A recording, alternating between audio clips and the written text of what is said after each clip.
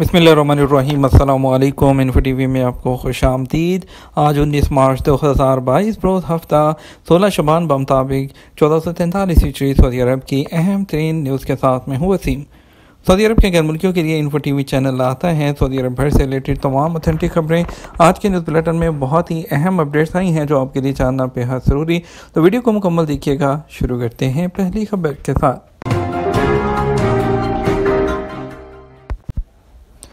Saudi फरमान बादशाह सलमान की हदायत पर यूक्रेनी शहरीों के वीज़ों में तोसी। सऊदी फरमान बादशाह सलमान की हदायत पर सऊदी अरब ने यूक्रेन के शहरियों के वीज़ों में तोसी का फैसला किया है। अरब न्यूज़ के मुताबिक सऊदी अरब के जनरल डायरेक्टरेट ऑफ़ पासपोर्ट ने जमेरात को ऐलान किया था कि इंसानी हमदर्दी की बुनियाद पर सऊदी अरब में मौजूद यूक्रेनी शहरियों के वीज़ों में बगैर फ़ीस के तोसी की जा रही है। वीज़ों में तोसी की यह सहूलत सऊदी अरब में टूरिज़म या तजारत के घर से मुकीम यूक्रेनियों के लिए यकसा होगी। जनरल डायरेक्टरेट ऑफ़ पासपोर्ट के ऐलान में कहा गया कि यूक्रेनी शहरियों के वीज़ों में ये तोसी नेशनल इन्फॉर्मेशन सेंटर के ताउन से ऑटोमेटिक तरीके से हो जाएगी। उसके लिए पासपोर्ट डिपार्टमेंट के दफातर जाने की ज़रूरत नहीं है। आँखों की दो अद्वियात इस्तेमाल ना की जाएँ Saudi food and drug authority Saudi food and drug authority S F D A ने कहा कि आँखों से मुतलिक दो मसनूआत इस्तेमाल न की जाएँ। रेबीजोल नामी मसनूआत दस और बीस मिलीग्राम की पैकिंग में है। अखबार ट्वेंटी फोर के मुताबिक एस एफ़ डी ए ने तोज्जो दिलाई कि यह दवा मार्केट से उठाने की हदायत कर दी गई है। ये प्रोडक्ट जिस दवा को बुनियाद, बनाकर तैयार की गई है, उसमें तिबी नुकता से मुकम्मल जो है मुमासलत नहीं पाई जाती। और एस एफ़ डी ए ने तोज्जो दिलाई कि मस्कूरा दवा सऊदी मार्केट में जमजूम फार्मा कंपनी की जानब से फरोख्त की जा रही है। ममलकत के मुतल सेहत इदारों को हदायत कर दी गई है कि उन्हें जहाँ भी ये दवा नज़र आए, उसे जब्त कर लिया जाए। सार्फिन से कहा गया कि मुतबाद मुनासिब दवा के लिए मुतल डॉक्टर से रजू करें और मजकूरा दवा इस्तेमाल न करें। एस एफ़ डी ए ने खबरदार किया है कि ममनुआ दवाओं में शीशे की मकदार हद से ज़्यादा है। एस एफ़ ने तोज्जो दिलाई कि सऊदी मार्केटों में रेड और ब्लैक आई लाइनर भी फ़रोख्त हो रहे हैं। उसमें शीशे की मकदार हद से ज़्यादा है, जिससे खून की किल्लत का अर्जा लाक हो सकता है।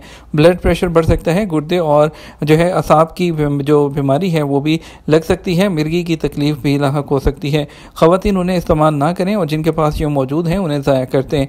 मुतल इदारों को हदायत कर दी गई है कि मार्केट से मखसूस मार्कों वाली ब्लैक और रेड आई लाइनर हटा दी जाए। खिलाफ वर्जी पर कानूनी कार्रवाई की जाएगी। पाँच साल से कम उम्र के बच्चों को स्टेडियम आने की इजाज़त। सऊदी अरब में खेलों की वजारत ने पाँच साल से कम उम्र के बच्चों को मैच और खेलों के जो है मुकाबले देखने के लिए स्टेडियम आने की मशरूत इजाज़त दे दी है। उन्हें वैक्सीन की तमाम खुराकें लिए हुए अपने किसी रिश्तेदार के साथ आना होगा। वकात अखबार के मुताबिक खेलों की वजारत ने कहा है कि सऊदी अरब में कोरोना वबा से बचाव के लिए मुकर हिफाजी तदाबीर मअतल किए जाने के बाद आवाम के लिए हिफाजी तदाबीर में कमी कर दी गई है। सऊदी अरब के मुतल हुकाम ने समाजी फासला ख़त्म कर दिया है और खुले मकाम पर मास्क पहनने की पाबंदी भी उठा दी है। मस्जिद नबी में नमाज़ के दौरान सजदे की हालत में इंतकाल।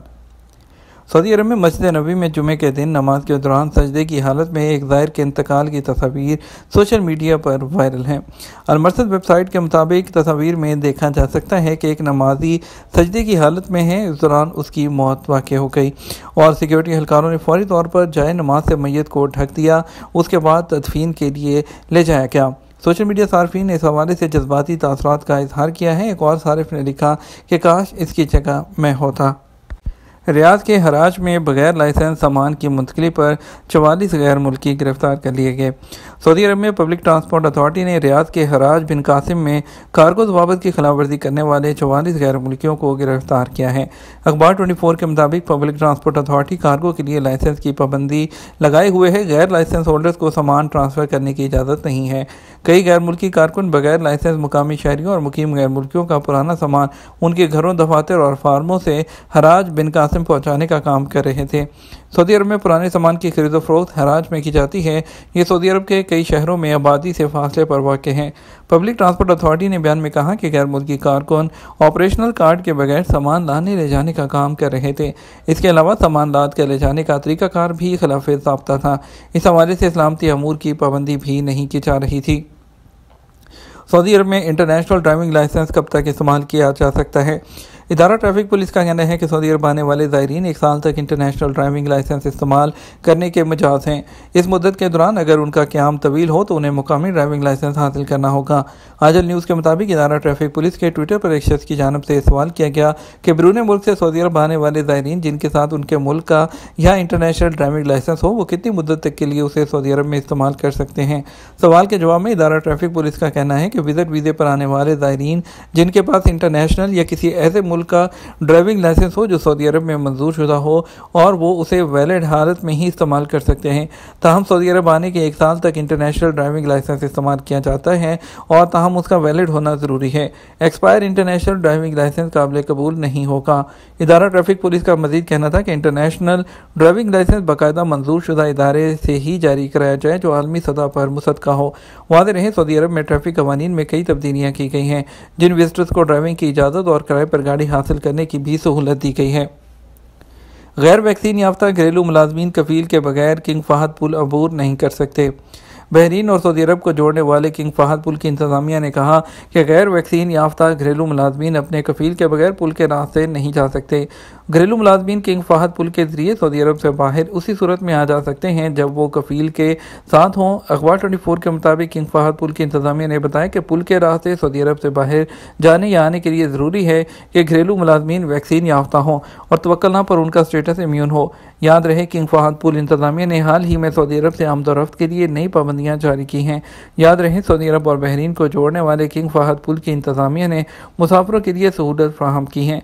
उन्होंने जो मुसाफरों से पीसीआर टेस्ट रिपोर्ट की पाबंदी खत्म कर दी है।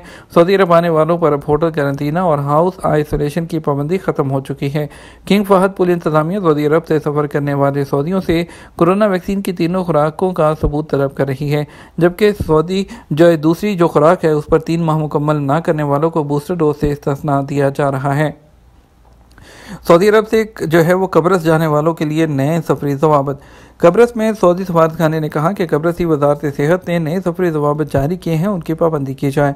अखबार ट्वेंटी फोर के मुताबिक सऊदी सफारत खाने ने बयान में कहा कि नई पाबंदियों के मुताबिक बूस्टर डोज लगवाने वाले मुसाफरों के लिए कब्रस आमद पर पी सी आर टेस्ट की नेगेटिव रिपोर्ट ज़रूरी नहीं। इसी तरह ऐसे लोग जिन्हें वैक्सीन की दूसरी खुराक लगवाए, नौ माह ना गुजरे हों, उनके लिए भी P C R test report ज़रूरी नहीं है। बयान के मुताबिक कोरोना वायरस से सेहतियाबी के छः माह के अंदर आने वालों से भी P C R test report तलब नहीं की जाएगी। सऊदी सफारत खाने का कहना है कि कब्रत की वजारत सेहत ने वैक्सीन ना लगवाने वालों पर पी सी आर टेस्ट की पाबंदी लगाई है। ऐसे मुसाफरों का जो है रैपिड एंटीजन टेस्ट रिपोर्ट देना होगी, जिसका नमूना सफ़र से 24 घंटे पहले का लिया गया हो। कोरोना के 105 नए केसेस की तस्दीक सऊदी अरब में कोरोना वायरस में मुबतला एक सौ पाँच नए केसेज की तस्दीक हुई और एक हलाकत रिकॉर्ड की गई। सबक न्यूज़ ने वजारत सेहत की जानब से जारी जो है अदाद शुमार के हवाले से मजीद कहा कि नए केसेज आने के बाद सऊदी अरब के रीजन में कोविड नाइन्टीन के मजमू केसेज की तादाद सात लाख उनचास हज़ार तीन सौ तिहत्तर हो गई है।